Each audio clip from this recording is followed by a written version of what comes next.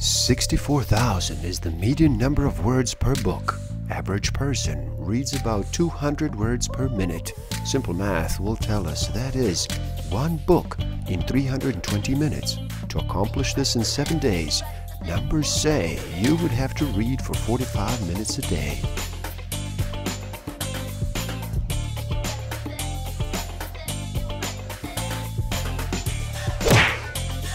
Forget to subscribe, hit that notification button, like, comment, and share. Enjoy. Hello and happy day. How does slowing down sound to you today? Would you like to reduce the noise for just a bit? Are you ready to make a choice and decide to listen? My name is Igor SF Walker, and I'm here to remind people to slow down, to reduce the noise, to walk their lives into a natural flow. Welcome back to the Book of the Week series. Every week, as I read another amazing title, I share it with the world. Today, we look at debt, the first 5,000 years by David Graeber. In this video, we will look at what is debt? Where does the language of debt come from? And how does it apply to everyday life? History of debt and debt through history. Is this a question of morality or is it actually something evil? Are we actually in debt to the universe and life itself? Looking at the links between religion, payment, and the mediation of the sacred and profound realms by money. How is it that moral obligations between people come to be thought of as debt and as a result end up justifying behavior that would otherwise seem utterly immoral? So stick around until the end and I will share with you a way to explore the mystery of yourself and your personality. How to find out why you do the things you do. What are the hidden motivators behind the scenes, these innate human needs we are sometimes not even consciously aware of? Debt, a noun. Number one, a sum of money owed. Number two, the state of owing money. And number three, a feeling of gratitude for a favor or a service. This is Oxford English Dictionary. If you owe the bank $100,000, the bank owns you. If you owe the bank $100 million, you own the bank. American proverb. Actually, the remarkable thing about the statement, one has to pay one's debts, is that even according to the standard economic theory, it isn't really true. A lender is supposed to accept a certain degree of risk. If all loans, no matter how idiotic, were still retrievable, if there were no bankruptcy laws, for instance, the results would be disastrous. Sounds like common sense, but the funny thing is, economically, that's not how loans are actually supposed to work. Financial institutions are supposed to be ways of directing resources towards profitable investments. If a bank were guaranteed to get its money back, plus interest, no matter what it did, the whole system wouldn't really work. The very fact that we don't know what debt is, the very flexibility of the concept, is the basis of its power. If history shows anything, it is that there is no better way to justify relations founded on violence, to make such relations seem moral, than by reframing them in the language of debt. Above all, because it immediately makes it seem that it is the victim who's doing something wrong. Mafiosi understand this, so do the commanders of conquering armies for thousands of years. Violent men have been able to tell their victims that those victims owe them something. If nothing else, they owed them their lives because they haven't been killed. For the last 5,000 years, with remarkable regularity, Popular insurrections have begun the same way, with the ritual destruction of the debt records. Tablets, papyri, ledgers, whatever form they might have taken in any particular time and place. After that, rebels usually go after the records of land holding and tax assessments. As the great classicist Moses Finley often liked to say, in the ancient world, all revolutionary movements had a single program cancel the debts and redistribute the land. Terms like reckoning or redemption are only the most obvious since they're taken directly from the language of ancient finance. In a larger sense, the same could be said of guilt, freedom, forgiveness, and even sin. Arguments about who really owes what to who have played a central role in shaping our basic vocabulary of right and wrong. After all, to argue with the king, one has to use king's language. Whether or not the initial premises make sense, if one looks at the history of debt, then what one discovers, first of all, is profound moral confusion. Majority of human beings hold simultaneously that number one, paying back money one has borrowed is a simple matter of morality. And number two, anyone in the habit of lending money is evil. What precisely does it mean to say that our sense of morality and justice is reduced to the language of a business deal? What does it mean when we reduce moral obligations to debts? What changes when the one turns into the other? And how do we speak about them when our language has been so shaped by the market? Economists generally speak of three functions of money medium of exchange, unit of account, and store of value. All economic textbooks treat the first one as the primary. Human nature does not drive us to truck and barter. Rather, it ensures that we are always in crea- creating symbols, such as money itself. This is how we come to see ourselves in the cosmos surrounded by the invisible forces as in debt to the universe. The primordial debt, writes the British sociologist Geoffrey Ingham, is that owed by the living to the continuity and durability of the society that secures their individual existence. In this sense, it is not just criminals who owe a debt to society. We are all, in a certain sense, guilty, even criminals.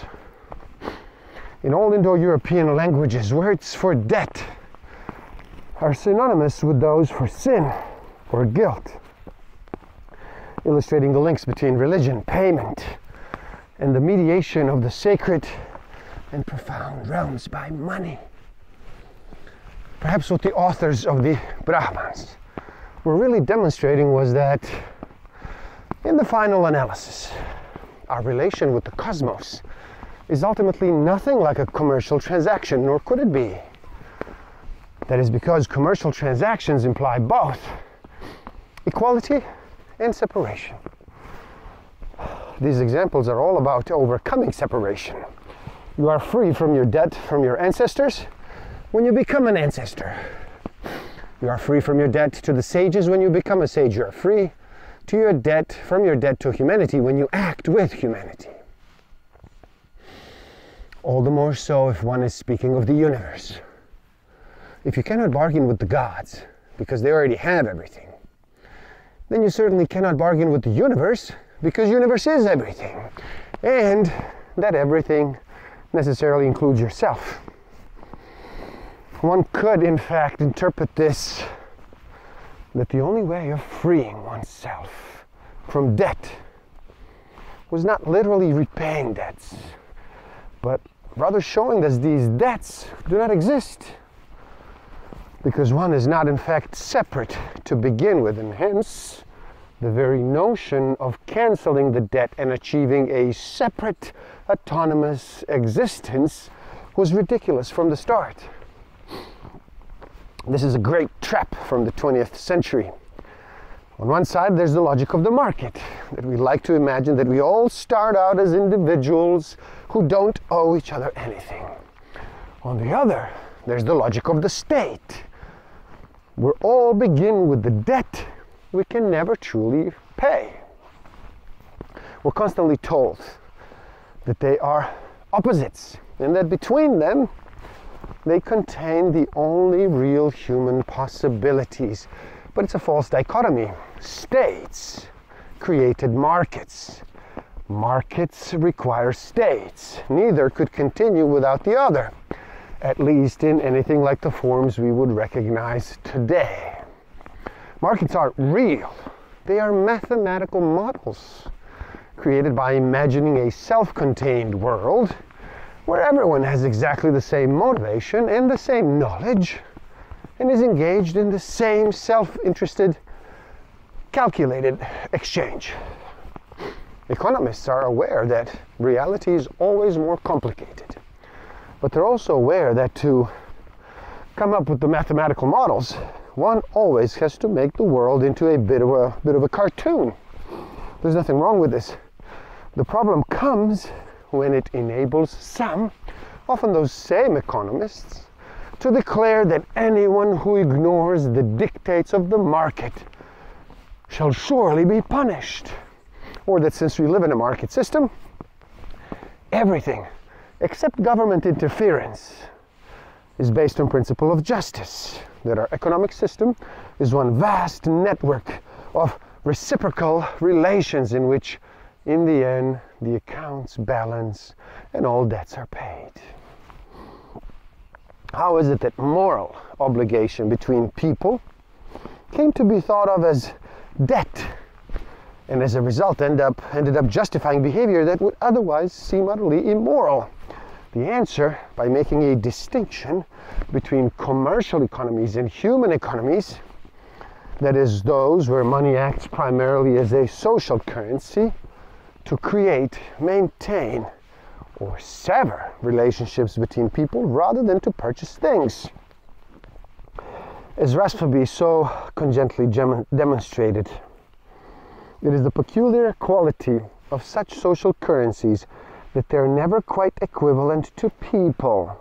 If anything, they're constant reminder that human beings can never be equivalent to anything, even ultimately to one another.